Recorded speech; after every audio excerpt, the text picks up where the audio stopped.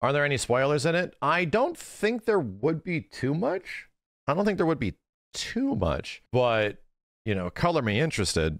Uh, this is arguably one of my favorite games of all time. Very curious to hear a bit more from the behind the scenes, even though we did get what felt like a little bit of this behind the scenes, even when Advent Children uh, was in theaters. It felt like we got something like this that was going into, you know, FF7 and anticipation of rebirth. Let me just fire this up and let's just start seeing what they say about stuff.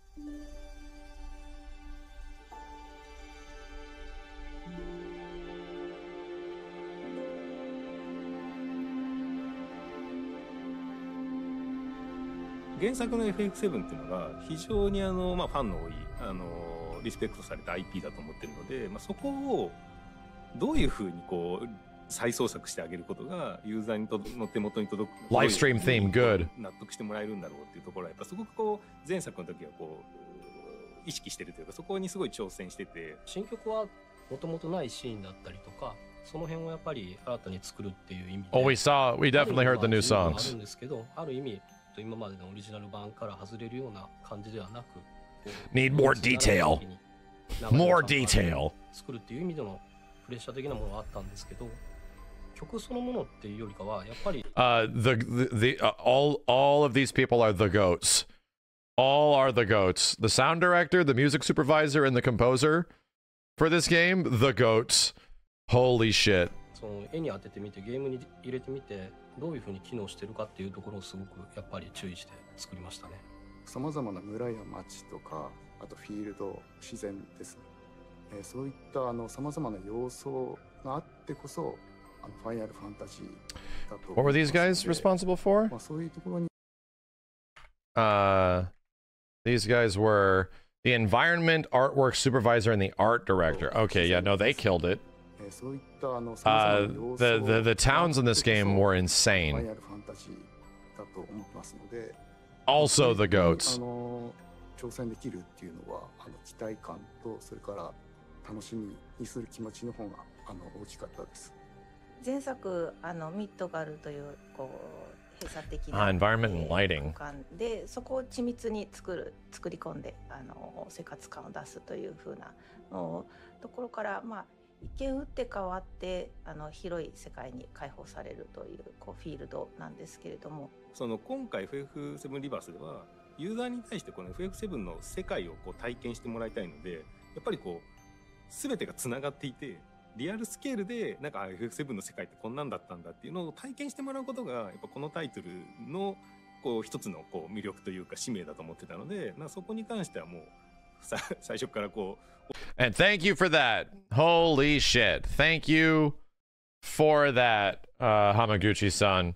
Was unwavering from the start that we want to experience an adventure similar to the PS1 game, where we want to go from place to place and go through the environments and experience those environments, you know, just like you might have remembered in the old days. 折れる気はなかったというかあのはい必ず達成しようと思っていたところです They nailed it. They nailed it. Absolutely nailed it. And it's like even better. その FF って世界をその歩いて旅するものだと思っていたのでをリメイクするならワールドマップはこうする Yeah, I think you gotta like also wor- uh, realize that like world map is not was like a defining feature of the series at the end of the PS1. I'm sorry, at the at the end of the SNES and the PS1.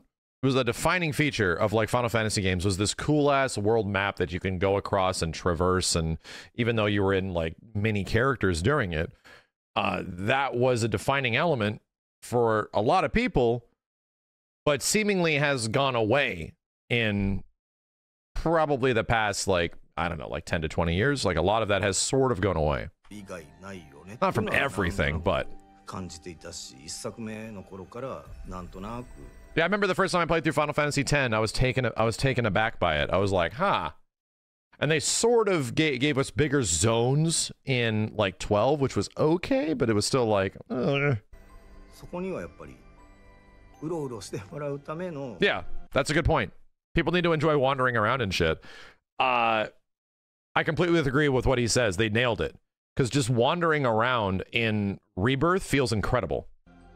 要素っていうのは必要 だとは思うんでまあそういう今回探求の要素が多々そこに含まれたっていう。私自身も思ってる以上によりその探索要素っていうのは非常にたくさんギュッと詰め込まれていていわゆるクエストやもしくはこうある種こう谷をどんどん辿っていくと実は発見しづらいこうあのルートがあってそこの奥にはしっかりとしたこう If there's one thing I do hope is that um a, a lot of the stuff that was explorable in this game, the ex- exploration in this game is really good. A lot of it was I'd say s- scripted exploration. It's a hard way of describing it, where you clearly see that there's like a path and another pla- another path, and you're like, okay, I missed something. I know I missed something. Let me just go back and look at the map. Yeah, there's something over there. I'll just go over there. Uh, I I hope that there's like a moment in the follow up game in the future where there's like missed shit where you could you could from like I don't know a, a aerial skybox view of the of the land plan on going to one place and then you just truly have like what the hell's in that cave? Uh, what could be in there? Uh, what's on that island? Don't know about that and there wouldn't be a very much like okay so here is this region fulfill all the objectives in the region. At times i kind of wish that you know you could you could just find shit and it could be missable. I don't need that everywhere. It would just be nice similar in the og ff7 to come across like i'm in the northern crater. What the hell is this house doing up here? And i can't get to it wait a minute, I can actually land up here now with an airship. Who the hell is this guy? And that's where the uh, the Chocobo Sage is. You know, it was kind of stuff like that where you're like you don't really get that information unless it's like one NPC that tells you about it, and that made that really fun in the old game. あの遺跡があったとかそういう探索の楽しみっていうのがその想像以上に There's already so much stuff to explore in this そ game. こに関しては非常に You know, I feel like they can almost like save some of it 思ってたよりも to not have to be all a part of 魅 like 力的に uh, the region 飽きの intel. こない非常に楽しさが詰まったものにしてくれたっていうふうには思ってます。今作ってメインストーリーだけでも40時間を普通に超えるぐらいのあの多分普通でプレイすると超えちゃうと思うんですよね40を超えるプレイボリュームがあります40 hours? That makes サ sense. イドコンテンツが多分それの倍近くあるのでそのまあある意味普通にこう隅々までこうやって プレイヤーっていうのはもう100時間普通に超えちゃう So what's funny is that this seemed like this was complete bullshit when the uh when they were promoting this game. I'm like 100 hours this is bullshit. This is not how many th- this is not how long this game is going to be. This is bullshit. Um so they weren't lying. In fact, it wasn't 100 hours. It was for me it was 130. and I, I felt like I exhausted most things. I did about 99% of the game. No, no, no. It, it was actually more. It was even more. ちゃうんですよ。あのプレイボプレイ体験が。まあもう20年以上前の作品ですけど、当時プレイした人がやっぱり印象に残ってるっていうのは、あの非常にミニゲームがたくさんあるっていう。Yeah, it's because it's where the most rewards come from. right? えーオリジナルの時 Everything は siphons you back to the golden saucer in the old game. 最先端のアミューズメントパークとして Chocobo racing, you know, all the mini games. 今作は今作の時代として、えー、と一番最先端に思わせるような、えー、とテーマパークを作る Oh, that's a good であ call. のちょっと時代が変わってますので、えー今の時代だ That is actually a really good call. I love the golden saucer in this game, dude. あのどんなテクノロジーになるのかなとかどんな楽しませ方をするのかなっていうところ をあの考えるとあの若干こう変わってくる No basketball. で Yeah. No arm wrestling, no basketball. そうですね、やっぱり原作のあの曲のイメージが皆さんも強いと思うので大きく変更することはないようになってますね。ただ鳴らし方とかね、はい結構工夫しててあのだからまあちょっとサウンドのねシステム設計になっていくんです The music was so まあ good. メインの曲は普通に鳴らしてるんじゃない The fact that they had like a main street a main street electrical parade version of the golden saucer theme, えー that shit blew my mind. I was like, を意識して so you just want us to feel like we're in Disneyland more than ever.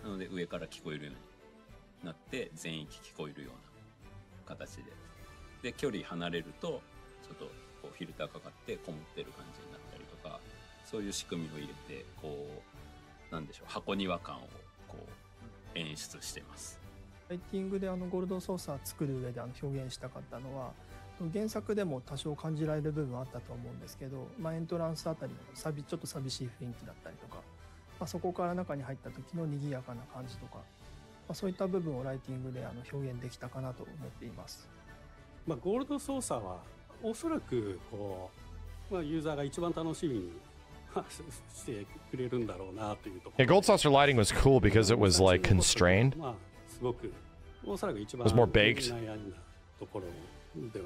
コスフィールド多かったです。からね、確かに自分もやってた時もうずっとゴールドソーサーいたんででミニゲームやってたんでずっと耳に残ってるんだよねあの曲ね、あとやっぱりメロディーも、うん、キャッチーなところがある This goddamn minigame. This one was really fun.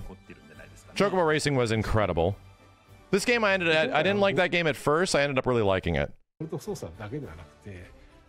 Red 13 um, Rocket League was okay. Not a huge fan of this minigame. I like this one a lot. I think I liked like 85% of the minigames in the game a lot. Um, about only a couple of them that I think weren't that great. The dolphin minigame was mad fun once you get used to it. And then, Jesus, dude, the goat. At, at one point, I was like wanting to get from place to place. I was like pulling up into a new town, and I was all like, "So where these Queen's Blood players at, huh?" Like, like I'm rolling into an arcade looking for competition. I'm like, "Oh, these bitches think they hot, huh?"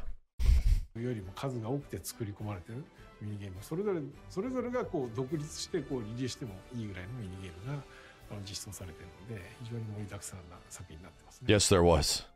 Certainly was.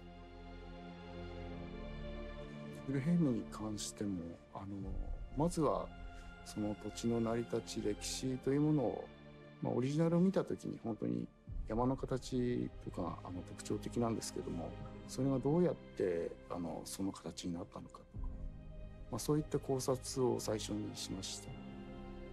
まあ、デザインにおいてやっぱ気をつけるところはやっぱ寂しい街なんですよねやっぱ寂しいのでその、まあ、全体的な色のトーンとか、まあ、そういうところはやっぱちょっとこう気を使って調整していきました。ライティングで、えっと、ニブルヘムであの満足している部分としては、えっと、ロケ全体を通じての、まあ、少しあの陰鬱とした感じっていうかちょっと怖いイメージが裏に隠れているっていうのをライティングで表現できた部分はあるかなとは思っています。まあ、それはニブルヘム村から信頼を God, dude, that beginning of the game is so incredible. あのちょっと他とは That shit's incredible. けどちょっと色味がくすんでいるというか、まあ、そういう空気感を表現できたかなと思っています。シンラーの開発の影響があのウルヘイムは大きいのでもうそのあたりをオリジナルよりもあの一目でわかるようなあのデザイン。生活感も見えるような形で、えーデザインに入れていったというところであのシンラの関係性というのをもっと深くあの表現できていると思います。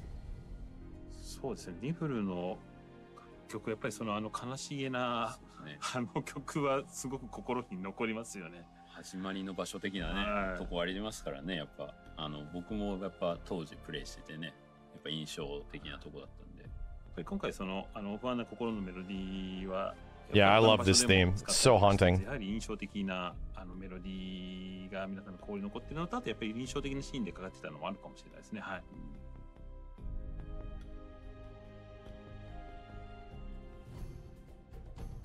Jesus, look at this place, ロ man. ケーションって意味ではそのまあビジュアルも含めてなんですけどもあの原作でもコスモキャニオンっていうのがやっぱり好きだったらねあのなんだろうなそのちょっとグランドキャニオンのような形でこうそびえ立ったところに天文台のようなこう建物があって、まあ、そこでこうこの星の仕組みあの星の仕組みをこう研究しているっていう設定の中そのロケーションとその設定が相まって非常に好きなロケーションだったんですけどもそれが今作でもあのしっかりとコスモエリアとして再現されてるので非常にあのすごく広い空間でプレイした人は、まあ、当然ですけどやっぱりみんな覚えててその印象深い代表的なロケーションだと思うんで、まあ、そこは崩さずにやっぱ新しいこうテイストというか要素は今作なりにこう散りばめ Cool. っていう感じです。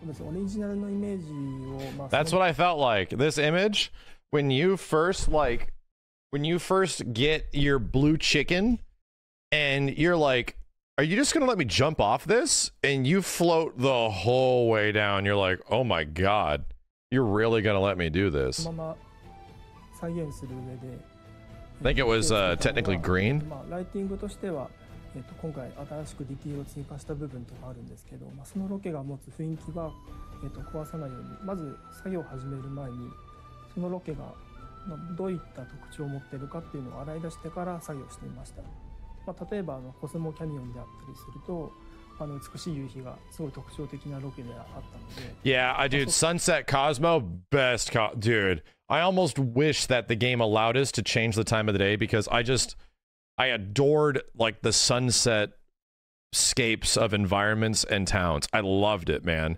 And it kind of bummed me out when that doesn't change at some point in the game and it's just like noon at all times. It's like peak sunlight and I'm like, "Ah, man, I wish god, I want to go back to Cosmo when it's like nighttime, man." そこ専用の夕日のマップを作って、まあ、その夕日の美しさをどう表現するかとか、まあ、そういったあの大きいイメージとしての印象は損なわないように各ロケでしていました。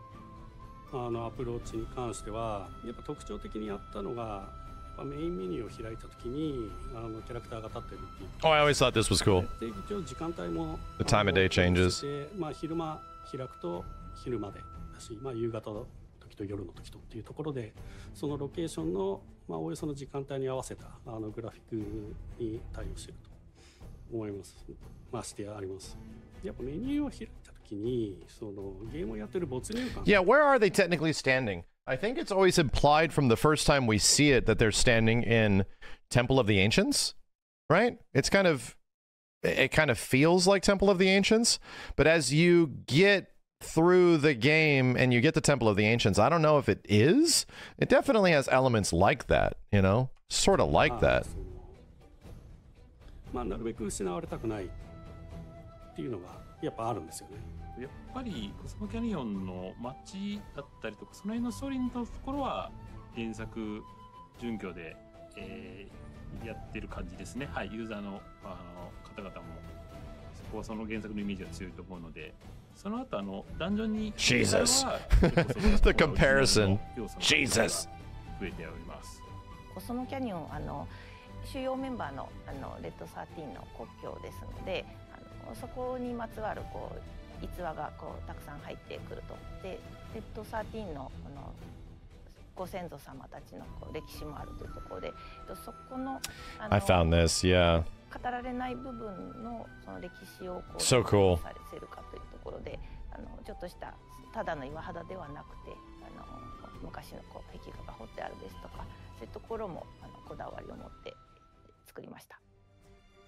その中で自分が一番好きなのは、まあ、正直どのロケもこう遊びの手触りを変えてるんであのどこもどれも好きなんですけど、まあ、その中でも一個挙げるとしたら私はあのジュノンエリアが結構あのお気に入りではあります。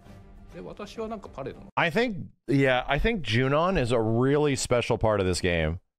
It's it's weird because it, it like invokes the the Midgar feel a lot because obviously, but at the same point, the the people you run into, the sequence of events that plays out, like it just is so incredibly cool.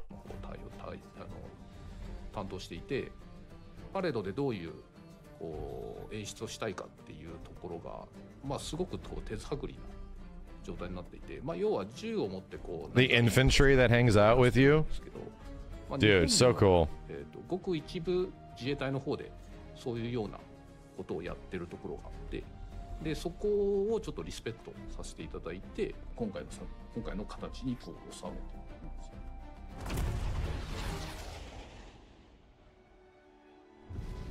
今回あの回る場所ってどこもかなりインパクトが強いというか個性が強いのでどれも面白いんですよねそれぞれに違った遊びが楽しみ方がある場所なんですけどストーリーの方がやっぱり感情で言ったら喜怒哀楽全てが入っててサウンド音楽っていうのはそこをやっぱりこう補完するようなポジションだと思っててまあもちろんそのミニゲームとかそう一個一個孤立したものがあるんですけど、まあそこ全部含めて僕らはやっぱりいいものにしたいっていうのでやっぱ日々作ってるところがあるんで。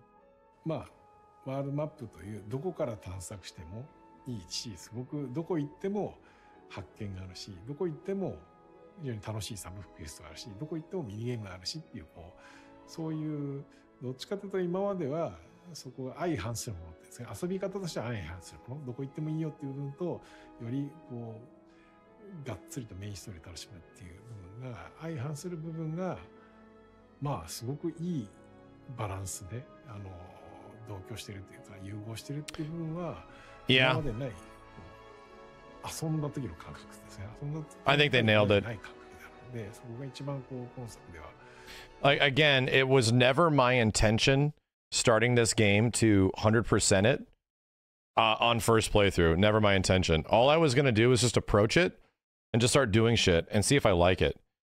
Um, and if I like it, I'll just keep going. And the game kept rewarding me with cool shit. And I just kept getting new stuff. And I kept going to places that looked really cool and meeting characters that were cool. And I was like, well, fuck. I guess I'm 100%ing this game. Goddamn Mogs, though, in the end, dude. Fucking Mogs. There was one thing I thought would change would be the, the Mog houses. They wouldn't just get, like, you know, be weird to more frustrating and more frustrating and more frustrating. These little mother fifers, I'm going to get you, you stupid fuzzy bitch. Burn the Mog house. you you just complete the Mog trial and just cast Firaga on the tree and just oh sit there watching it up in flames. Uh, part two.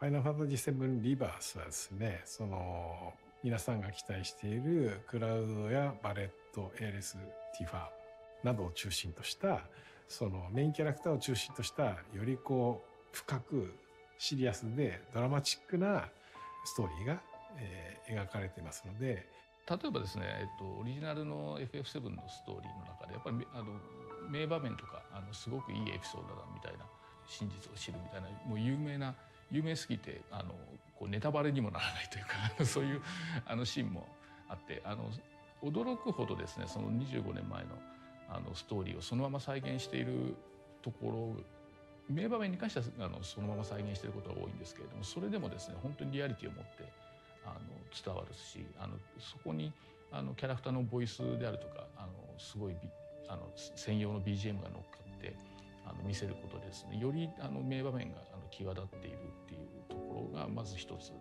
ありますね。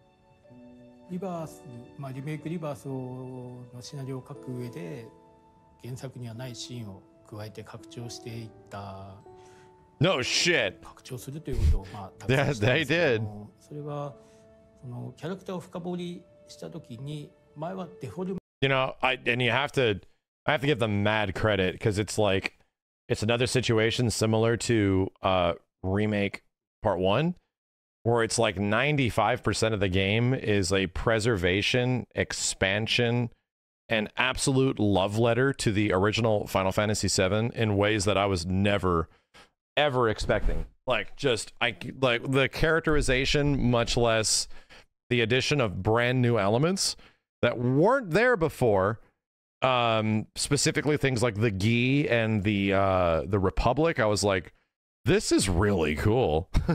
This shit is really cool.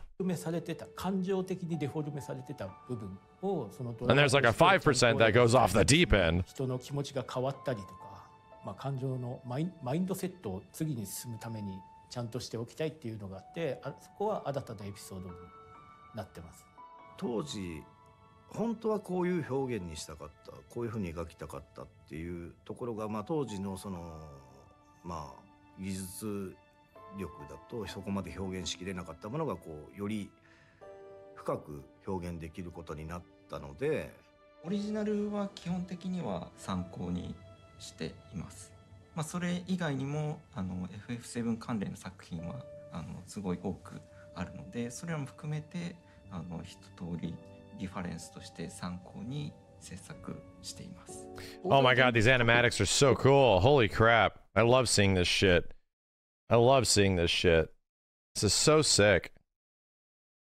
They essentially have their like, you know, 2D storyboard and then the the cinematography uh, cin- uh animatic. そして参考に制作 That's the loveless scene. 登場人物各個々に対して、えー、と演技のイメージっていうのを事前にこう資料としてまとめてあって、 まあ、その資料が具体的にどんなものかっていうと、まあ、例えばそのなんだこう立ちポーズのそのキャラのこうイメージに合う、えーとまあ、例えばティファだったらこういうポーズが、まあ、手にちょっと手っていうか腰か腰にこう手を当てるようなポーズがまあちょっとティファっぽいよねとかそういう感じの、えー、と情報がまとまってるものになりますね。キャラクターたちを、まあ、どのようにこう、まあ、よりリアルというかあの、まあ、命を吹き込むかっていうこう観点で言うとやっぱりこうフェイシャルに関しては非常にあの、まあ、こだわるというか注意をしていました、まあ、特にまあ、今ってその原作と違ってあのキャラクターたちにボイスオーバーというか、まあ、セリフが全部載ってこう感情を言うんですけど、まあ、映画とかもこう今のこう演出ってそうなんですけど別に言葉がなくても表情だけで人の感情って伝 Yeah, and there's a lot of moments like that in this game where uh they show but don't tell. At times it it becomes even a, a problem, I'd say, where there's so much showing and not telling in a point where we're looking for answers. But to be real, like I, I kind of appreciate at some points what they're what they're showing us what our characters are going through. They don't just have the characters say what they're feeling, right? They do not have the characters just say I feel sad or I feel happy. Like they they are conveying information through micro expressions and stuff like that, which is kind of like filmmaking shit. You know, that's actual performance. 伝えれるんですね。で今回ってやっぱそれをすごくあの意識してとかやっていて 特にセリフがないところでもキャラクターのこのわずかなこう表情とか仕草でなんかグッと心をつかまれるシーンっていうのがものすごく数いっぱいあるんでなんかそこはぜひあの見てもらいたいところの Yeah, just in terms of like that that that element in the first game, um grunts, right? Characters grunting to carry a scene to the next seem to happen just way too often. Uh I didn't notice it at all here, right? It might it probably still happened every once in a while, but that's like a localization thing as well. It felt like they didn't need to do that anymore. Felt significantly less. 一つではあります。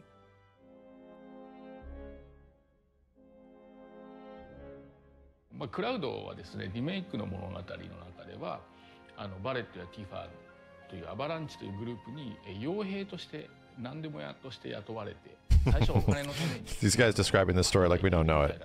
あの立場だったんですけれどもそのリメイクの中で彼らとの絆を築いて仲間として認めお互いに認め合うようなあの形で、えーミッドガルを脱出しています。クラウドはリメイクの中ではあのなんて言うんでしょうね舐められないように頑張ってたのが仲間たちと一緒に、まあ、行動するうちになんとなく自分の居場所を得た感じになってリバースに入ってくるっていう感じです、God damn, that scene is so good. Another another super good example of a scene just let the visuals and let the character emotional state carry it. Let them carry it. So fucking good. Like I love this scene in this game. 過去にブル編のクラウドがあったんですけど、まあ、5年前っていう設定でもありますしあのキャラクター的にもちょっと若いクラウドでさらにその中にちょっと今までとイメージの違うクラウドを作らなくてはいけなかったのでモデル自体ちょっと若いモデルを用意してもらったり、まあ、フェイシャルをつける時も少し明るめだったり、まあ、元気を少し足したよう And な they did a very good job 方をしたんですけどそのセフィロ at スの this version of 弱さって Cloud. いうのを皆さんが知っているから Quote unquote cloud. 完璧じゃな完璧に見えて完璧じゃないところが魅力なのかなってちょっと思ってますけどおそらくそれはクラウドも一緒でなんか完璧じゃないその弱さが結構その弱いところがしっかり描かれてるってところがティファは、えーバレットと同じアバランチというグループの一員なんですけれどもそのアバランチの過剰過激な活動に関しては、えーリメイクの時から少しためらいがあって悩みを抱えながらあの一緒に行動をしていたんですけれどもそんなあの死んだカンパニーの陰謀によってですねアバランチが窮地に追い込まれた状況の中でもうその活動を続けるしかないっていうあの覚悟を決めつつもでもやっぱりまだ揺れる思いは抱えてあのいながら、まあ、リバースにあの旅を始めます。であのやっぱり彼女の中にはその幼なじみのクラウドっていう存在が大きくあってでそのクラウドの様子が時々おかしくなったりとかすることをあの彼女なりにやっぱり心配に思っていることがあるので、えーそれもあって一緒に行動してるっていうのはもう原作のあの設定と同じ形になっております。そうですねティファーに関して言うとクラウドのことをまあ心配するっていうこともあるんですけれどもあのいよいよクラウドが本当にどどういうふうに考えてるんだろうとかっていうところにちょっとやっぱりあの疑問を抱いたりとかクラウドのことを心配するがあまりあの質問がきつくなって、えーなんていうのかなあの少し口論になったりとかそういうあの感情の部分であのぶつかることとかもあるようなあのそういうあのより身近な関係として描くあのクラウドとの関係を、えー描いているようなストーリーが最初から入ってきております。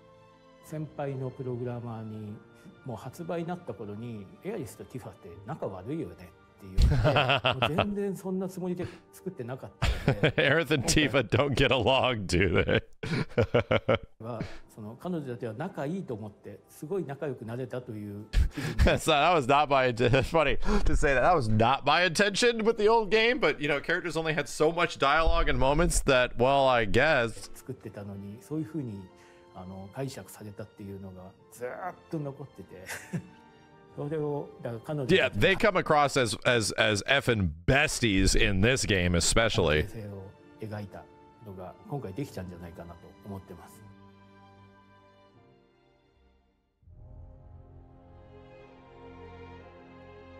バレットはですね、えーリメイクの時にはですねあのこの世界の星のエネルギーっていうものをあの牛耳っているシナカンパニーに敵対するアバランチというえーグループの、まあ、リーダーみたいな存在で、えーリメイクの中でそのシンラに利用されてアバランチの活動をする中で、えージェシーやミックスウェッジっていう仲間たちは命を失ってですねもうあのその思いを抱えて引くに引けない状況でミッドガルを脱出しています。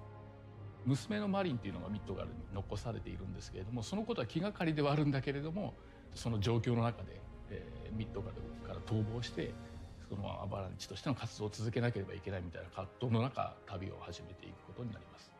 バレットのこのなんだろうな過去のまあ親友というか友あの友であるダインというキャラクターがいてそのキャラダインのキャラクターのにまつわるエピソードっていうのがやっぱり原作と同様に描かれるんですけど原作はなんだろう本来言うと自分自身はそこまで原作の時のダインのエピソードってそこまでこう心を動かすような感じではなかったんですけど今作リバースにおいては非常にそのこうエピソードが Nah, it was good in the old 感 game. 情的により It was it was still good in the old game 演出 too. されていて非常にこう今作の中でも非常にこう良いシーンに仕上がっているのでまあやっぱりリメイクプロジェクトを作るにあたってよりカット縮小することなくしっかりと描き切ったってことはあの結果的には成功につながってるんじゃないかなと今では思っています。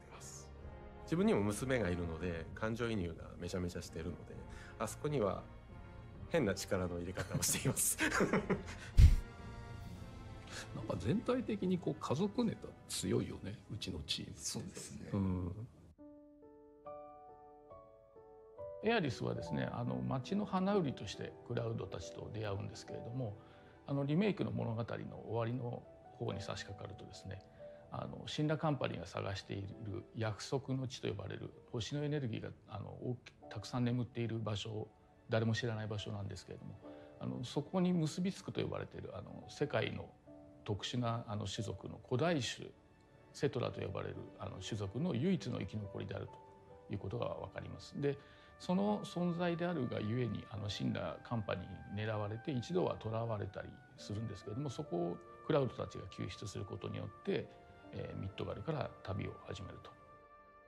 エアリスはもうリバースになるとき基本的にいつも明るく振る舞ってそのムードメーカーみたいな感じになってるんですけども、まあ、結構深刻なものを抱えてるのでそのギャップが見どころといいますか 例えばあの今回ですとコスモキャニオンっていうあの、まあ、七木の故郷の This was a great scene too. Completely unique to Rebirth. Wasn't in the OG at all. 命の話とかが入ってくるきますのでそこにあのエアリスのあの大きいあの追加シーンがあるあの、まあ、彼女がその古代種のの自分あのエアリス自身がどういうふうに考えてるかとかそれに対しての仲間への思いが語られたりとかあの新しい名場面となりうるシーンが入っております。リメイクの中の物語は、えー、運命の壁というか、えー、そのなんていうのかなあの最後に、えー、その運命の壁を打破するっていうところがリメイクの話ででその運命っていうものは何なのかっていうものをなんとなく感づいているのかどうかは、えーと、エアリスが実は知っているのではないかみたいな、yeah. そういったものも全て、えー、なくなった状態でリバースが始まりますのでエアリスにとっては、yeah. あのその新しい世界がまさにこれから始まっていくと楽しい気持ちで旅を始めるという形になっております。一番第あの初稿というか1個で野島さんから上がってきたストーリーっていうのを読んだ時に、まあ、やっ今作っていうのは「忘られる都まで」っていうのをあの描く物語になっててそこのこう結末に対してキャラクターたちの絆とか関係性を非常に描いてるストーリーラインだったんですよ。なんで、まあ、そこをただストーリーだけに閉じるんではなくてゲームデザインもちゃんとそのキャラクターたちのこう関係性との絆っていうのを描いてあげることでそのまあ野島さんのこうシナリオをこういただいて読んだ時に、まあ、私の方で今回のゲームデザインとして見た時の That's cool. 絆にしよう Yeah, they echoed that where like no uh, clearly like they almost like I'd say even more than the overarching plot of, you know, FF7 remake to Rebirth, this game focuses so hard on characters and character relationships. It almost is the story of this game, right? To be to be completely honest, like with a little bit of perspective after like playing through a lot of it, the real story of this game is in all of the subplots, is in all of the inter-character dynamics, their origins, their relationships with each other, like all that stuff. It almost feels like they spend practically this entire game focusing on it and it's incredibly good. It's so good. So I won't, you know, say that uh, eventually we, we want we want a bit more information, but maybe, you know, the the game spends most of its time not doing that instead focusing on, you know, this stuff which is where they expanded gameplay. っていうふうに思ったので、そのゲーム側の方もそういうコンセプトで作られているっていうふうになります。 まあ、ストーリーを進めることでキャラクターの関係性がどう変わっていくかっていうところはまず一つ大きいところで言うとまずクラウドと仲間たちの関係性っていうのをあのストーリーを進めたりとか、まあ、クエストを進めたりとかすることでこう変化していったり、まあ、キャラクターのこうセリフ含めてそこに対してのこう差別化があるみたいなところっていうのをあの入れています。カットシーンには選択肢があるんですね。でそのキャラクターの好感度によって見れるカットシーンが異なってきます。なので例えばティファに好感を持ってもらっていたらティファの特別なカットシーンが流れます。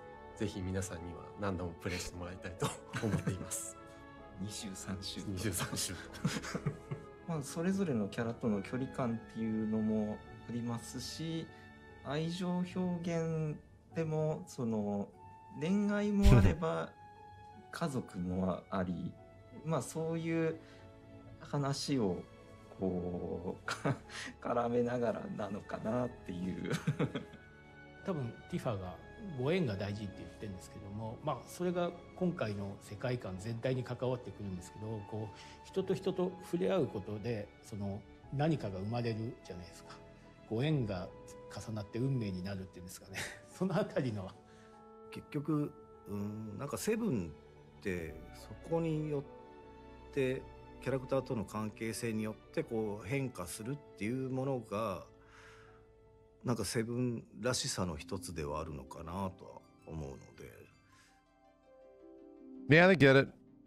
ザックスが、まあ、かなり早い段階から登場してまして What are we gonna talk about this? そのクラウドたちとは違う角度からこの世界を見るっていうそういう役割を果たしてもらいたくて、まあ、早めに登場してもらってます今回のキャラクターとは別にこの舞台にリバース、えーリメイクリバースの舞台になっている星世界がどんなものかっていうのももうもう一つのキャラクターとしてその星自体も出したかったんでそこにザックスは深く絡んでもらえるといいなと思っています。ザックスっていうのはその FF7 の原作の中では、えー、とクラウドたちのストーリーが始まる前にあの亡くなっているっていう死んでしまっているあのキャラクターなんですけれどもそのキャラクターがなぜここにまた出てくるのかっていうところ自体がそのあのプレイヤーの興味を引きつけたりあのこの世界は一体どういうものなんだろうっていうあの疑問をですねあのプレイヤーに抱かせるとともにザックス自身もなんでここにいるんだろうっていうふうにあの思うことでよりこうその謎を深めていくというようにあの構成しています。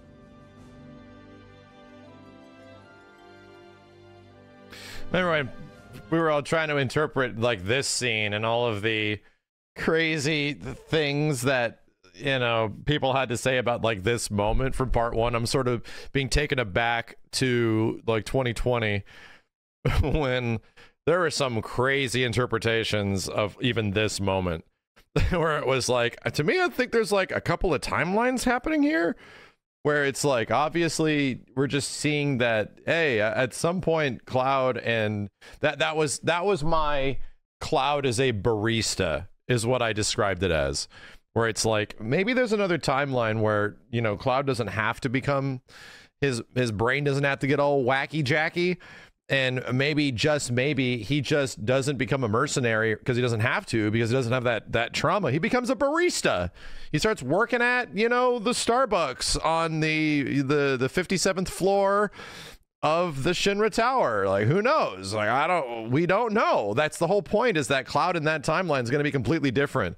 Funny enough like they don't eventually uh not a ton happens in that regard but still that was the point was that it doesn't we don't know it doesn't matter he's not going to be the same person over there that was pretty much what they did まあ私はやっぱこう原作 FF7 っていうのはやっぱ子供の頃に一ファンとしてこうプレイしてたのでその自分の中でこうなんだろうな変えてほしくない FF7 のこのイメージというかああるんですよあのここは聖域であって手を入れ入れないでほしいっていうただまんまはやりたくなかったんですよね、うん、そこは難しいさじ加減ですけど。そうじゃないと意味がないというか。リメイクの終わりのエンディングの時にですね未知なる旅が続くっていうコンセプトワードがあったんですけれどもあのやっぱりプレイヤーが体験したことがない旅、えーまあ、原作を知っていてもああの新鮮に思える。それはだからやっぱりその単に皆皆さんが知ってる Oh, this is actually this is super relevant to me because they're talking about intention. Like, what do they mean when they say that? Because it can tie to like you know, it can mean a lot of different things. Uh, we interpreted that that line interpretation from part one that it was going to be like an unknown journey ahead. Most people interpret it that you know, oh, Aerith could live. We could we could save Aerith. So they should let the people know it's not going to be a simple extension of the story they know. ってわけではないんですよ。驚きのある旅がこの後もありますよっていうことを、まあ、暗示した言葉としてあれ。Yes. yes, that is what we got out of it. What we got out of it was like, wait a minute, Zack's alive and can Aerith live? そういう意味でやっぱり原作のこう大きな流れというかこう構成っていうところはやっぱこう変えない中その中にいかにこう Yeah, and this is uh, again going going back to what we were talking about. Now that they're able to discuss it with with the second game, um, a lot of people interpreted the end of this game and the fact that like they're already they changed a lot of crazy stuff in the last 5% of the game. That last 5% left such a profound impression that people didn't have any confidence that the follow-up game would be similar. a lot of people were feeling like, hey, you know, that means that the next game is just going to be missing a, a bunch of locations, a bunch of locales, right? Like, there's an, they're going to cut things because they don't. It's not the same game anymore. They're just doing this to sort of cut corners, right? That that was the impression a lot of people got from the end of the game because the end of the game deviated so much. Um, and to me it was like it, it, it's the same thing that sort of happened with rebirth and i don't want to talk about spoiler stuff but yes like the end of the game the last 5% leaves a very distinct impression that the rest of the game doesn't. And to effectively think that like well because like a potential 5 to 10% of the game is kind of weird and uh, uh, you know uh, out of the ballpark a little crazy um, does it mean that the rest of the game was not already a super faithful adaptation with, uh, you know, a, a, pretty decent expansion therein? Talking about remake, it was like it. The majority of remake was really good, outside of you know some goofy sewer elements and stuff like that, and, and some some not so great dungeons. But really, like, oh, you do all the same stuff you do in FF7. You do all the same shit. So to me, it kind of felt like why would we expect that to change in the next game? That was sort of my feeling after Rebirth. I was like, why do we expect that to suddenly be way different for the next one? 違う変化を入れながらユーザーに対してなんかこう期待感とかこういい意味での不安感を与えれるかっていう方がやっぱリメイク作品 Oh, by the way, um, I didn't. By the way, I didn't know you guys any gift subs. We had we had a sewer gift sub bet. There were no sewers in this game. There wasn't a single sewer. In this 130 hour game, there was no sewers. We had a gift sub bet that like you had to visit sewers twice in remake. And uh, a, a lot of people thought that we would be going to sewers. Gongaga had one. A sewer? Gongaga had a sewer? That was under the reactor. That wasn't a sewer. That was just like the reactor was like flooded. No, no, no. That was not a sewer. A sewer is where sewage goes. Like under a uh, under a town where everyone's shit and piss. Corel Prison? No, there was no sewer in Corel Prison. You go down a hole and you fight some fights down there. But like we're talking your your our characters are going through shit and piss in an underground facility meant to siphon the sewage of our party. Right? We didn't get that. If if that happened during the playthrough, I would have had to put in the gift subs. We bet I think several hundred gift subs that uh, there was going to be no sewer in uh, friggin' there was going to be no sewer in Rebirth. And as I recall, that did not happen. That did not happen. Kate Sith's dungeon is not a sewer. Kate Sith's dungeon is just a retelling of uh, Shinra Manor, but worse.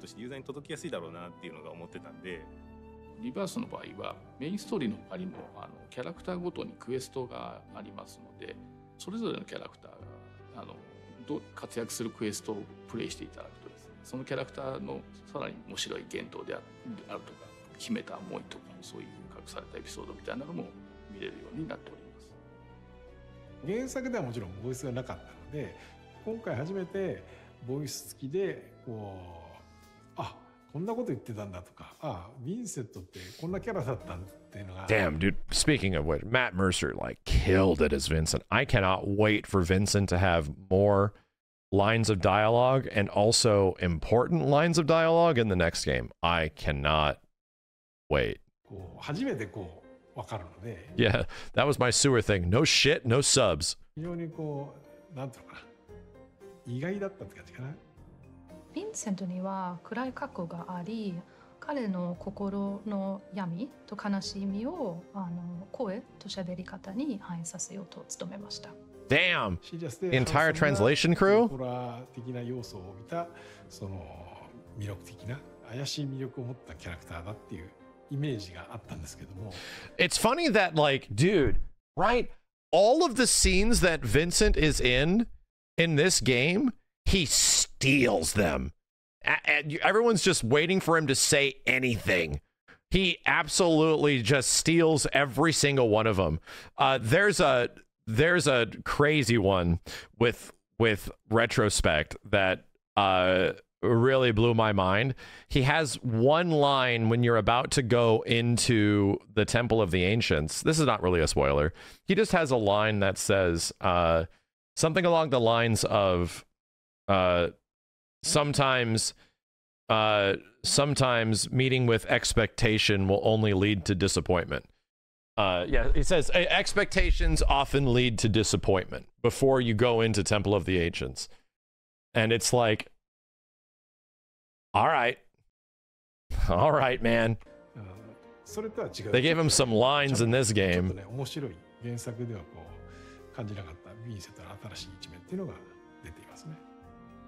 Yeah, Vincent was humorous in Advent Children too, right?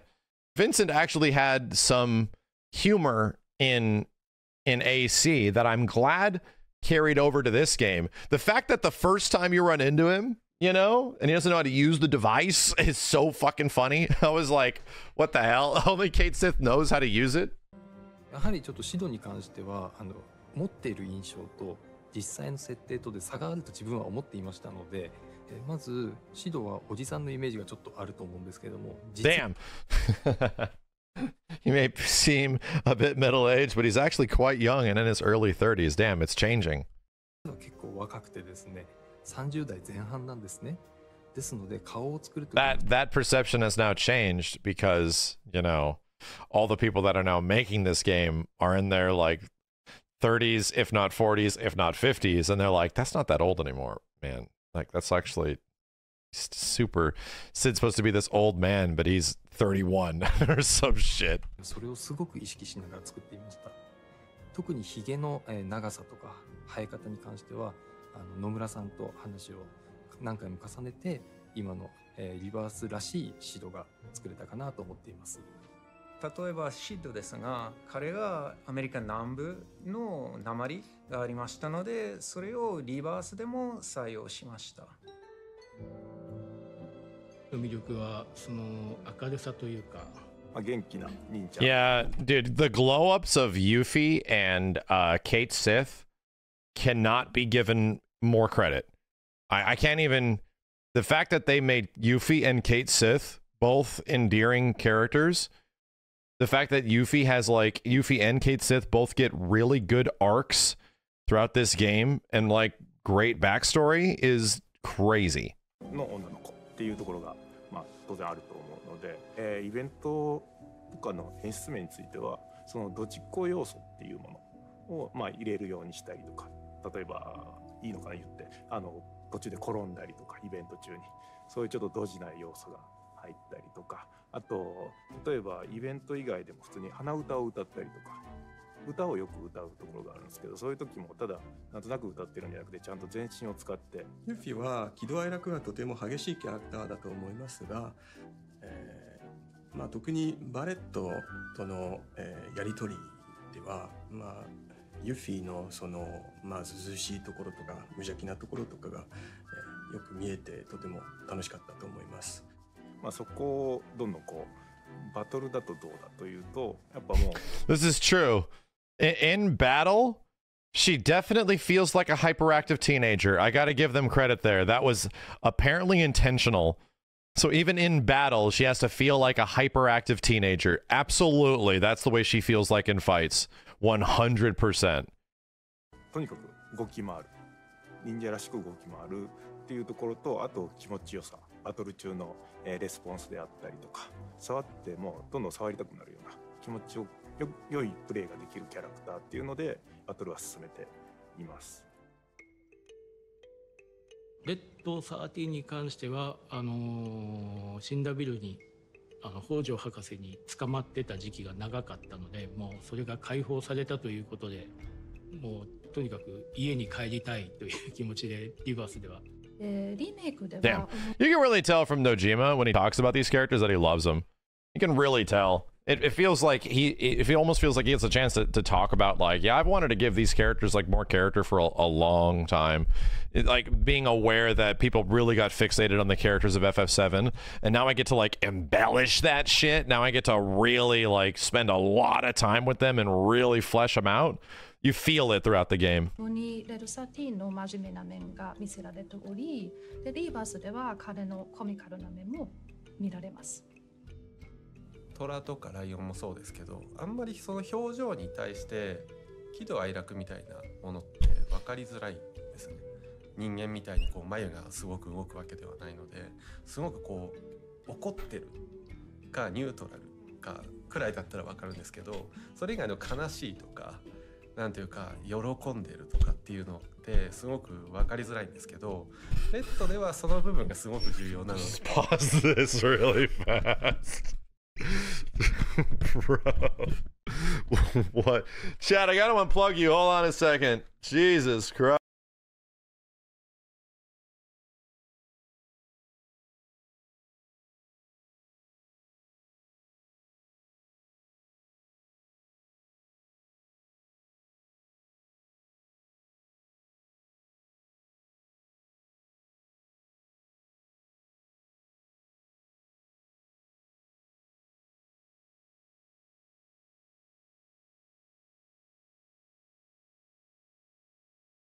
All right, hopefully we're back. Let me just go let me just go back a little bit. Hold on. るんですけど、Okay. 外の悲しいとか、なんていうか喜んでるとかっていうのってすごく Yeah, you're animating a giant cat, dude. Right? Again, you're animating like a huge a huge cat that's supposed to emote. 分かりづらいんですけど、レッドではその部分がすごく重要なので、もうそういうのはもうリアルとはちょっと外して、あのユーザーに届きやすい感じでもっと分かりやすい表情をさせて。Yeah, I was really, really, really impressed. It's a dog. Um, I was really impressed with Red 13 and the the way they tackled him visually, right? How is this character going to emote? How is this character going to move, right?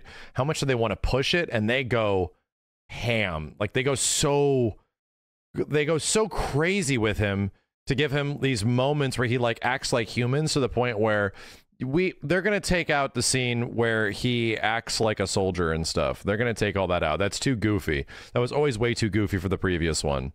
It was almost like the devs looked at moments like that as like a challenge instead of a instead of something that let's just replace that with something easier. No, they're like, nah, nah, we're keeping it. PC キャラですので、えー他の PC 同様例えばはしごを登るとかフィールドアクション的な こともしなければならないし椅子にも座らなければならないでチョコボに乗るところとしては野村さんからチョコボに乗る時にお座りの姿勢はさせたくないというオーダーがまず一つあってでその上で手にあの手綱を握らせるというところはマストとしてそこからいくつかポーズのバリエーション.で野村さんに見ていただいてこれだっていうのがあの姿勢です。That's the one! れると思ってなかったですよね。いやどうですかね。自分もあのバリエーションの時に悪ノリでちょっとポーズ作ったりもしてたんですけど、もうどれも多分面白い。Embrace the goof, right? Embrace it. That's that's a, that's almost a, a cool realization from like obviously like Nomura Nojima, the original FF7 folks, to be like embrace it. Don't try to shy away from it. That's it's a part of the game's charm and the, the at some point during development they were like even more so in rebirth than i'd say uh remake because remake obviously has it all over the place especially in Wall Market. there's way more of it in the og in the world all the weird wild goofy stuff. And it is one of ff7's best elements in the og game. You don't even realize it when you play it how off the wall the game is and you just accept it.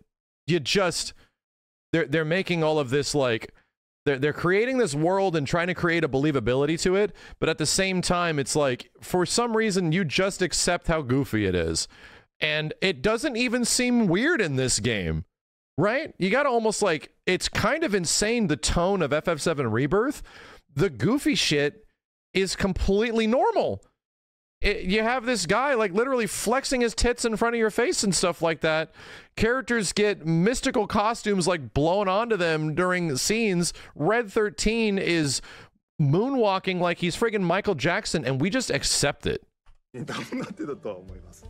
あとは他のキャラクターと違って手で攻撃するとかって言ってもまあ4足が基基本のポーズであるので、えー攻撃のバリエーションも 他のキャラと同じようにすごい数があるでそこの差別化をしていくのは、まあ、とても難しいという感じでした Stardust 前 Ray 作のキャラクターがある中で今度レッド13を追加するっていう時に、まあ、全く違う遊び方を作りたかった battle director, hell yeah. まあ、その防御からこう派生していろんなものが展開していくっていうタイプのキャラはまだいなかったんで、まあ、そこでその So that's another thing that has to give more credit.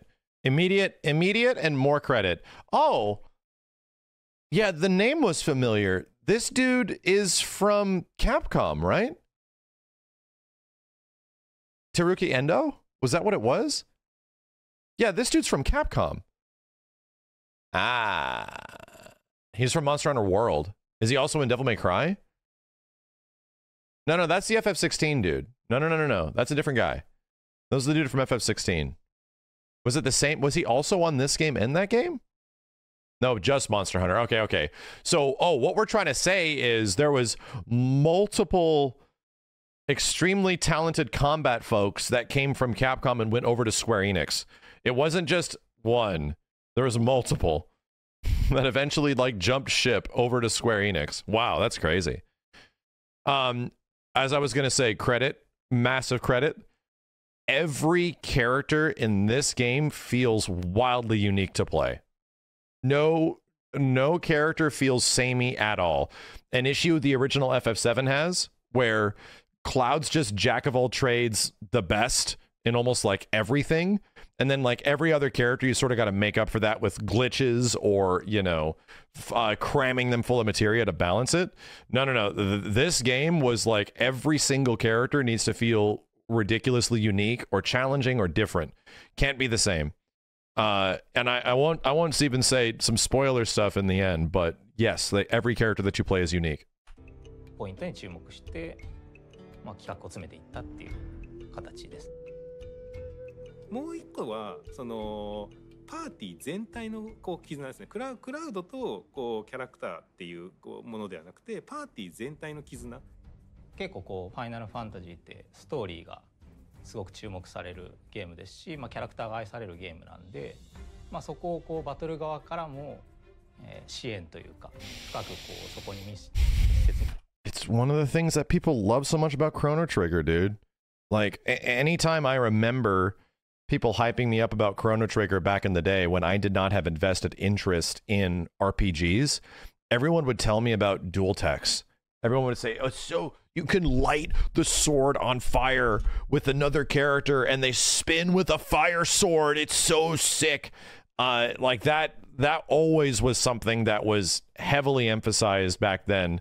And even when we were talking about uh this game, I was so excited in when Intergrade came out, and it was the beginning of synergy synergy skills or synergy abilities, where it was like, yeah, obviously, like dual techs and triple techs is something that I was clamoring about. I'm not the biggest Chrono Trigger guy, but that's always been a very cool thing that should come back. And yes, they they they legit do it, right?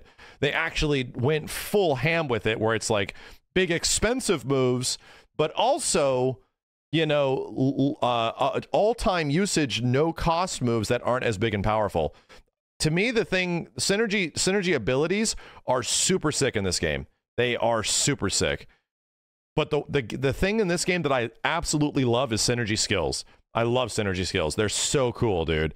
All the little the little moments in between of you chucking Tifa or Cloud jumping in front of of of Aerith, or like characters like running forward together. They they're not big, you know, cinematic moves like limit breaks and synergy skills, but they really spice up the combat in a way that I was not expecting, and I'm I'm I uh, I was thrilled with it. You don't even have to use it. You barely even need to use it, but goddamn, are they so cool. 変わっていけるような要素がやっぱ必要だなと思ってたんで、まあ、そういう意味で連携要素っていうのを追加させてもらったんです。まあ、ゲームの中だとあのパーティーレベルっていうパーティー自体のこう絆をレベルに表現してるんですけど、まあ、仲間の絆も増えていくとこうあのゲーム的なキャラクターの拡張性も増えていってその拡張性が増えることでバトル自体のキャラクターの連携感も増えていくみたいな感じのこうデザインにしました。そうするそれによってこうユーザーはじゃあどのあのパーティーメンバーでこう冒険しようっていうのをユーザーが自分で選ぶことができるんですよね。キャラクターの組み合わせについては、まあ、当然その好きなキャラクターで遊びたいっていうのがあるとは思うんで、まあ、そこで例えばこう好きなキャラクターなのに苦手なアクション性だったりとかっていうのはまあどうしても発生するとは思うんですけど、まあ、それをこう防ぐために全部同じようなキャラクターにしちゃうと、まあ、なかなかこうバトルに厚みが出ないので、まあ、そこはあえてそのキャラのその特性からまあイメージできるようなスタイルをこう意識して作ってで、まあ、組み合わせによって全然違う戦い方になったりするっていうのはまあそうですね好きなキャラクター使いたいけどこのキャラクターのこの遊び方をこうちょっとマスターして Yeah, this game almost like heavy-handed wants you to try other characters. Like it it forces it at times and and even gives each character their own dungeon to a certain degree. Uh, because it's like, yeah, you get the option for the majority of the game, but you really we want you to play these characters. ところもまあ乗り越えてもらう前提で、まあ、少しこう差別化を大きくして作ってるっていうのはあります。全ユーザーに等しく Yeah, you actually feel like you're a team. Right? You actually feel like you're fighting as a team. That's very important. まあ、連携の要素っていうのをちゃんと用意してあげることで本当にユーザーがこう自分のく好きな組み合わせでゲームを遊んでもらえるっていうところを、まあ、満たしたいっていうところがあったので、まあ、そういうようなところにもちょっとやっぱりコストをかけな I never got to use this. 結構いろんなキャラクター組み合わせてるんでどれも。Damn, that's a cool one. What the hell? FF7 らしいなっていうところで言うとやっぱりあのレッド13とかケットシーの組み合わせのあの連携アビリティっていうのはあのすごい可愛らしく作ってるんですよ。ケットシーはなんて言うんでしょうね。猫っぽさを出しつつなんでしょう。普通に喋ったり会話したりするので、まあ、その辺はなんか人になりすぎないようにというかは気をつけていましたね。まあ、あとはあのケットシーはあの可愛いキャラなので役者さんもあのコミカルに動いてくれて動き自体にも、まあ、表情のあるいい演技ができてるのかなと思います。体のサイズ的にモーグリはあのよりどちらかというとケットシーがちっちゃくて見えないんですけれども見えづらいん People で are す getting PTSD. モーグリはの方で表現をしたいというところでモーグリに特徴的な動きとかそういうポーズを取らせてまあ2人合わさったこう Kate Sith took me a long time to learn how to play him. Like a long time. Uh, Not even then do I feel like I was actually good with them yet. 遊べるようにいうそういうのを目指してやっていましたリバース、まあ、リメイクリバースをのシナリオを書く上でそのにはないシーンを加えて拡張していった張するということをまあたくさんしたんですけどもそれはそのキャラクターを深掘りした時にあのデフォルメされてた感情的にデフォルメされてた部分をそのドラマとしてちゃんと描きたい。そのまああの今作あの、まあ、こう自分でこういうものづくりをしていってこうすごくこう思ったのはあの、まあ、今作ゲームを開始すると一章っていうのはニブルヘイムのもう過去編からこう始まるんですね。なんでまあ本当にセフィロスを操作しながら一緒にクラウドの若若かりしクラウドと一緒にこうニブルマコールを探索するんですけどその時のセフィロスってまだこう人間味のあるセフィロスなんですよね。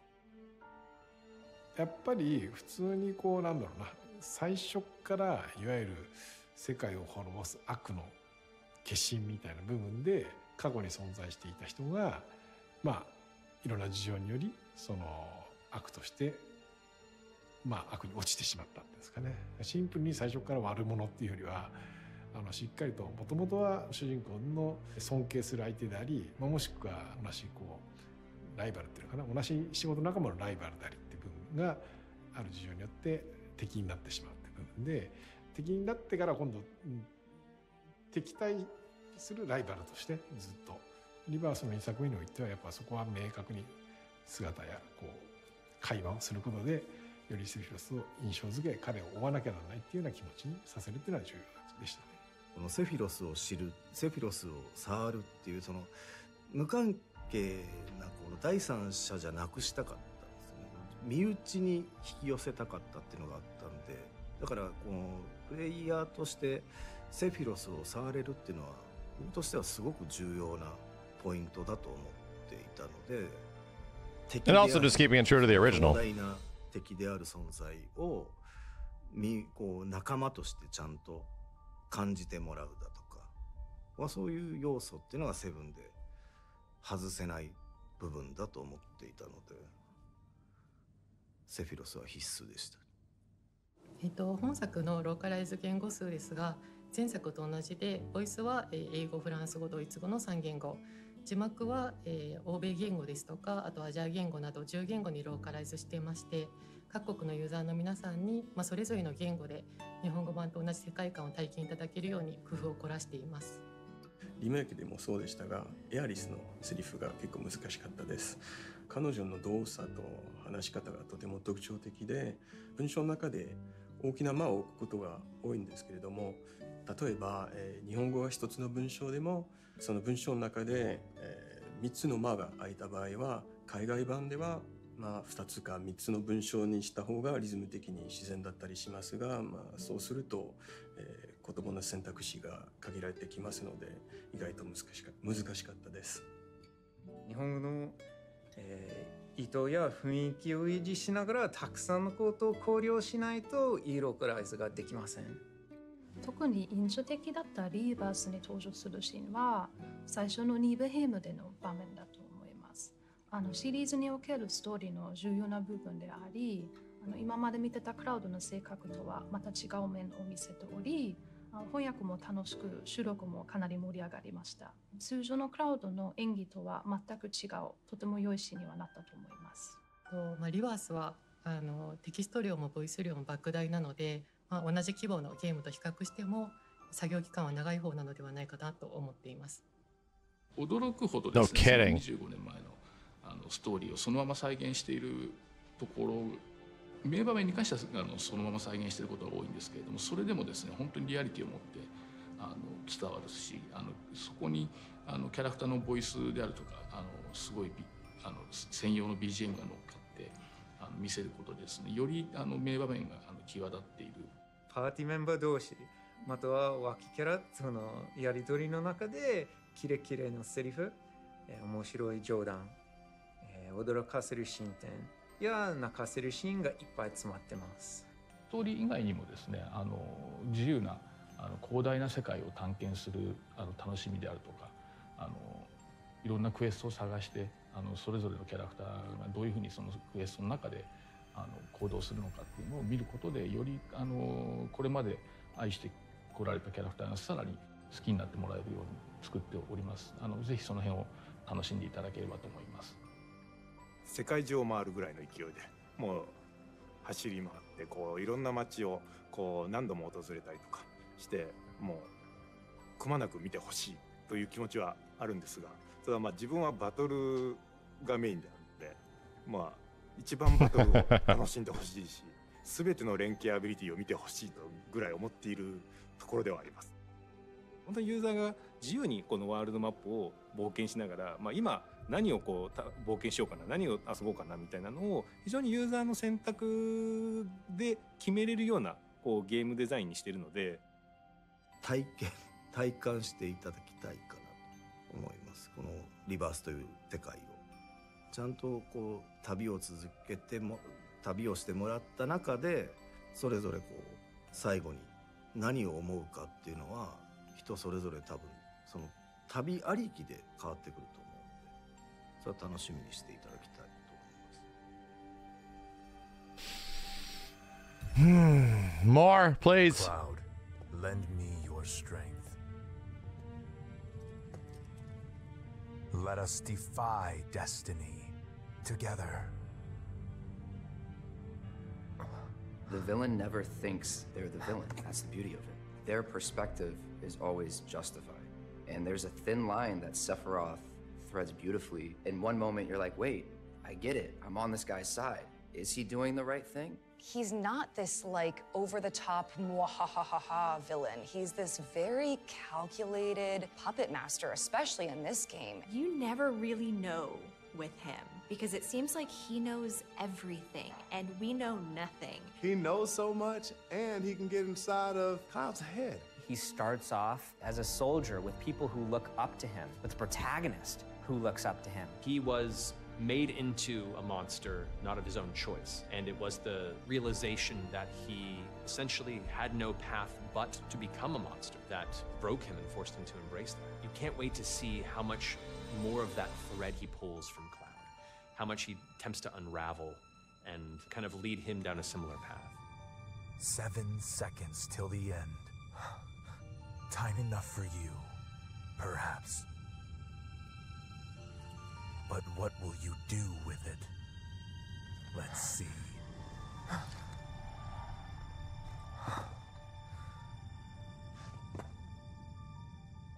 We still don't know. we still don't very, very know. Real from when Cloud rode the train in, all cool like into Midgar in the beginning. A lot has transpired, so the stakes have just been risen. I think moral compass has not really shifted. Who Cloud is hasn't really shifted. I think the fight against Sephiroth, the fight against Shinra, all of that stays true, and if anything, is exacerbated in the second game. The biggest shift really is, I would say, just the essence of Cloud, his personality, what he allows to show through. There's a lot more emotional depth, I feel.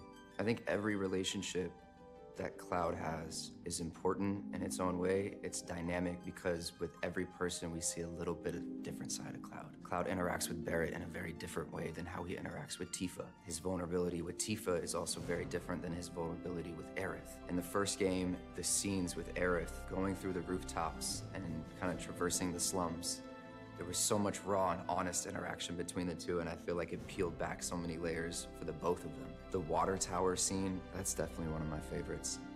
I have like a an anchor line, if you will, that was so drilled into me the first like three months of doing this game. And Cloud's infamous like not interested. Always, if I'm ever questioning the tone or where I need to be with it, like I'll always I'll go to that line because it's there.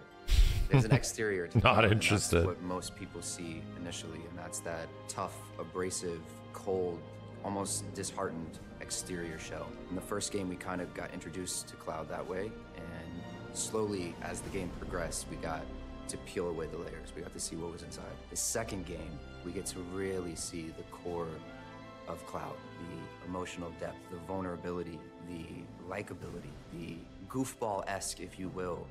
You know, this little boy that has been hardened just through circumstances in life. We get to kind of see a lot more of that. But all in all, I think Cloud is just, uh, he's a very interesting human being, and I've fallen in love portraying him. Tifa? You're our guide?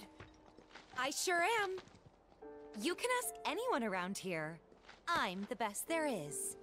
Tifa is impassioned and she definitely has a sense of like righteousness and anger and determination. God, and the voice cast for this game is nuts. But that's also balanced with this like really compassionate side. I think Tifa's internal conflict in terms of getting revenge, taking down Shinra, but also this moral compass of what is right and wrong is kind of my favorite aspect of who she is because I think it makes her so human. She is not just solely driven by revenge and hate. She's also very caring and doesn't want innocent people to be killed or pay the price in the crosshair. I think in this game you get to see so much more of Tifa's past and all of the trauma that she has been through and carries and is kind of forced to confront. We really get to delve deeper and see what she has gone through and also understand what is motivating. It's not like she's super old, you know, this, this she's young to have gone through this. So it just makes me more empathetic as an actor, as a fan for her journey.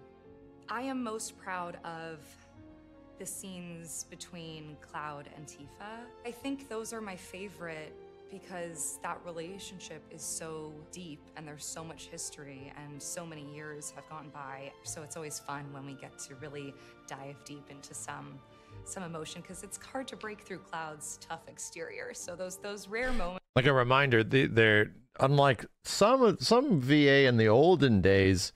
All of this is recorded locally, so well, meaning that they're not in the same studio together, right?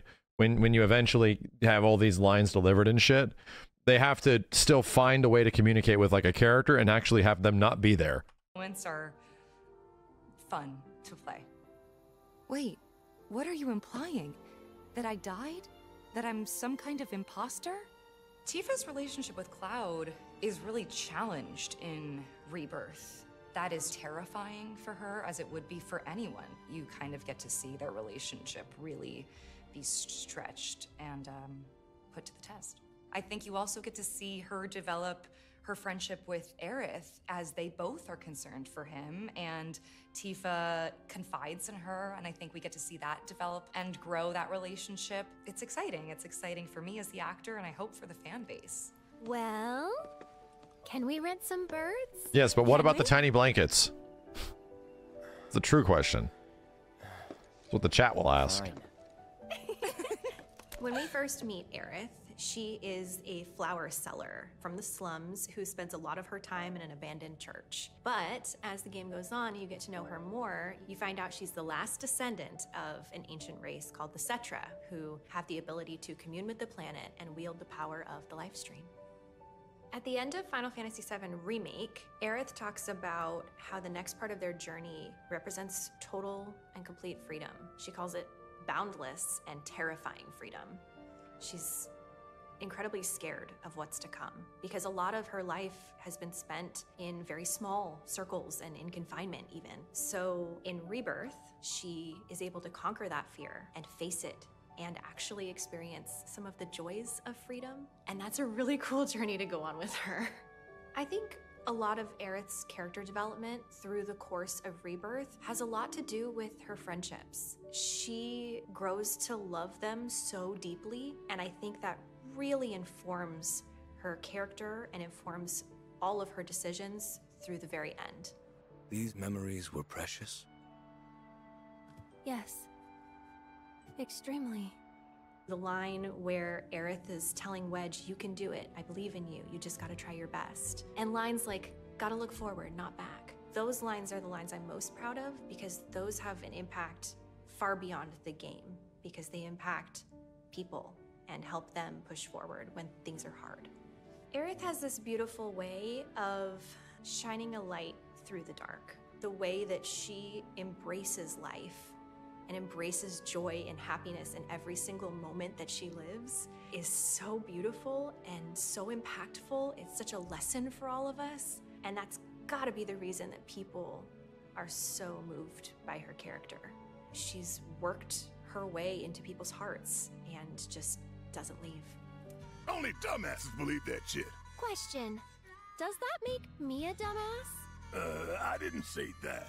What I meant was, screw Shinra for manipulating honest folks. Barret's a leader, he's a father. He's a pretend father to some of the members of Avalanche. I would say definitely Cloud, unknowingly to both at times. He's fiery, he's tough, he's real, but he's a leader. And he cares about people and obviously about the planet. You know, from the moment the uh, train lands and, you know, Cloud jumps off, and you better be worth every penny, Merc. You see him as this commanding big guy, like, hey, it's about the mission, let's go. And then he's talking smack the whole time, like, why are you hesitating? Gotta blow this reactor up. Obviously, in the beginning, I care about the team more than I care about the mercenary who we just hired. And then you see as he grows, he cares about him and he's part of the team. But he's also got Marlene. He's also got the people of Midgard. He's got, got all these different things that he cares about. And then all of a sudden, we get to this one, Rebirth, and we're in a whole different realm. I did what I did, and I can live with it.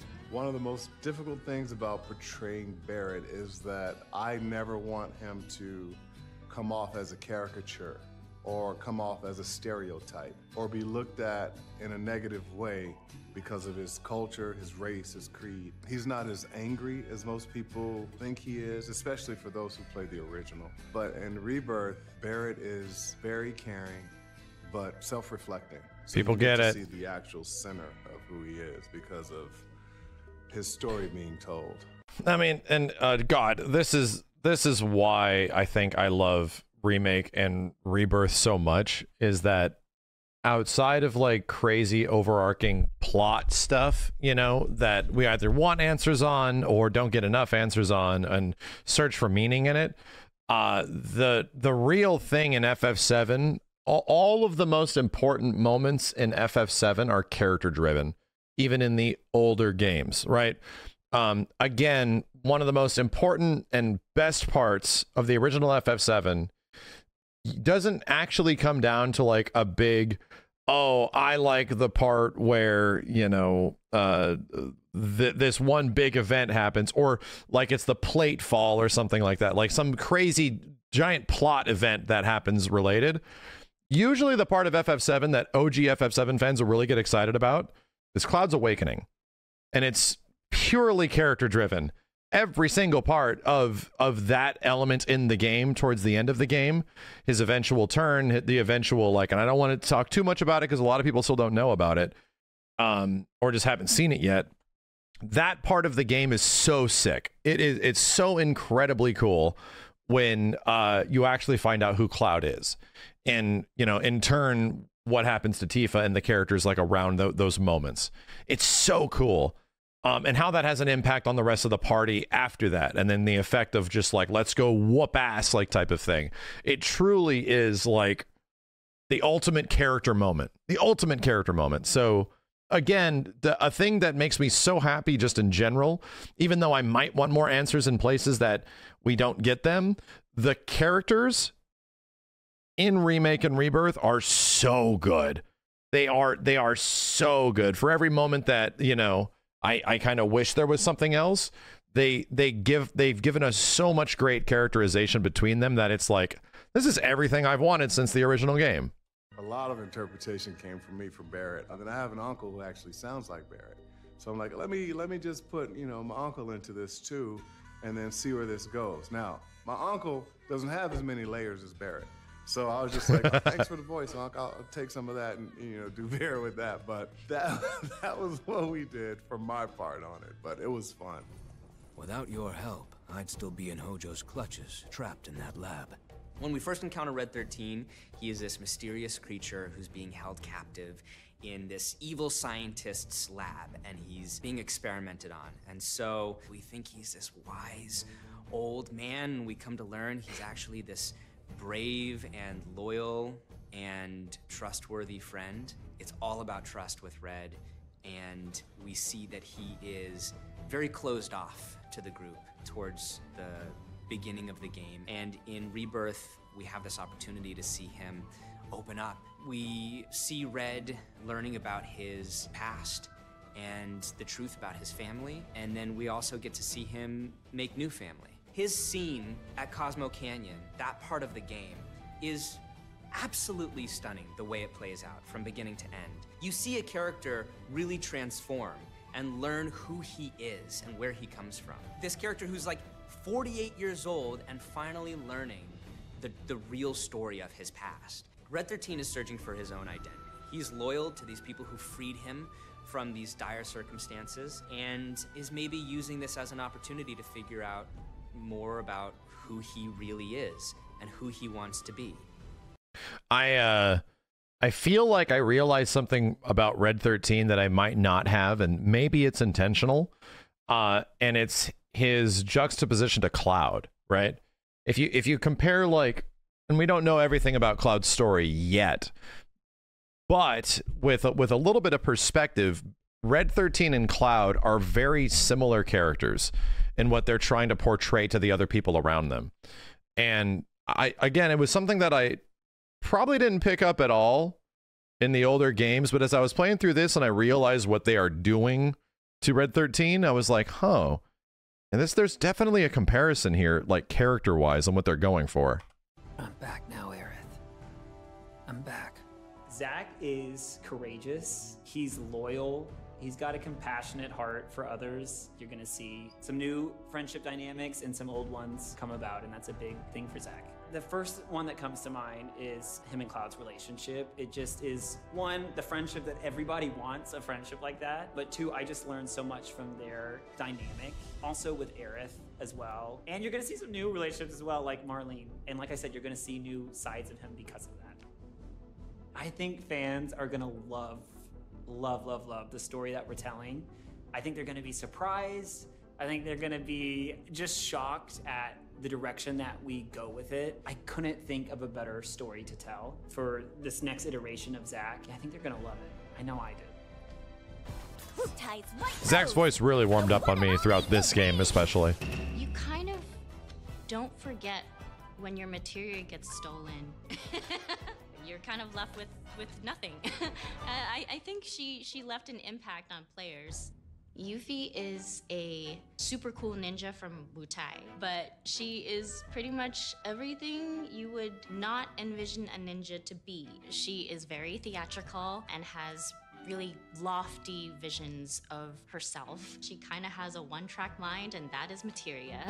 but you know, even for all the times that she messes up, she still sticks the landing because, after all, she is still a ninja, so.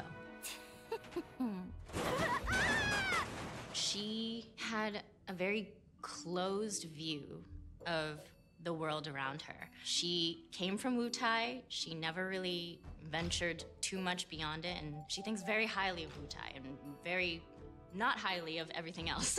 from episode More Wutai, please. Oh, don't worry. We're getting we're gonna get a lot more Wutai. We're gonna get more Wutai than I think anybody was expecting because Wutai is effectively um a, like a tourist destination even in the old game. There's really not a lot that it has in relevance to the story at all in OGFF7. Now they're, they they set up Wutai to be a massive, massive thing, and that's that starts even in remake part one, where it's like Wutai's got a lot more involvement in this game. This is interesting. Now they're heavily involved and going to be a, a massive plot point in part two, or I'm sorry, Jesus, part three. episode intermission and her interactions with all the people in Midgar and her experiences, she was able to open her worldview a little more and start to be more accepting of the people around her and really learn and mature through that. Who are you? Vincent Valentine. I'm.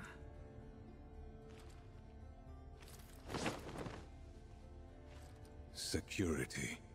Vincent Valentine represents a vestige of the dark history of Shinra and its extremely dangerous business interests. He represents kind of the surviving shadow of the people that were trounced by Shinra's initiatives and ideals. He represents the history of what got the company to where it is now, coming back to haunt it. I'm thankfully very familiar with Final Fantasy VII. I remember auditioning for it and wanting very, very badly to get this role.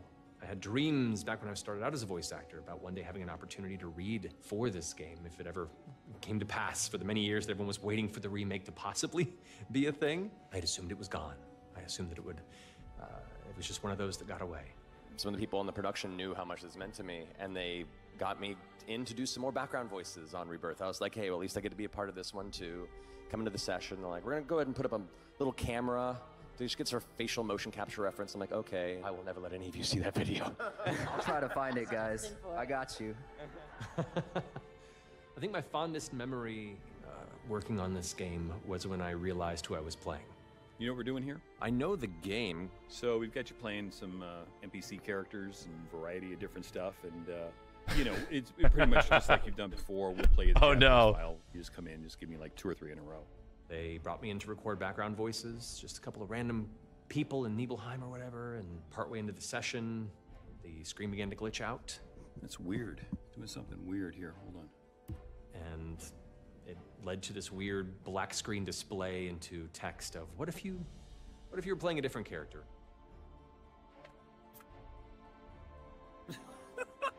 What the hell is this? what the hell is this? So, uh, this they is so revealed to me in funny. session that I was actually there to record Vincent instead of these background characters. No. Are you fing serious? oh man, I'm not gonna lie. Uh, that that's this fucking means a lot to me. And it kind of broke me in a beautiful way. I think that's going to be a particular memory I carry with me for a very, very long time. Thank you for choosing Bronco Cruises. We sincerely hope you enjoyed your trip with us. I'm most excited for the fans to just continue experiencing the story. We're not relegated to Midgar anymore, and so uh, you get to see so many cities and so many locations, and there's side quests, there's mini games. I'm excited for everyone to be able to uh, hop on a chocobo and then Cid for see part just three. How far they can ride and be surprised by how much more alive this world is comparison to how we remember it. I want to see their reactions to Barret's story. I'm excited for that. I mean, I'm really excited for that. I'm most excited for people to discover the sides of Zack that they haven't seen yet before. It's like the whole gang is together. The characters get to let loose and have a little bit of fun. It's really nice to get some lighter adventure and get to see these characters in more of a playful Yeah, Sephiroth, Cait, and Cid are missing. Yeah. atmosphere. That was exciting for me, and I hope for the fans.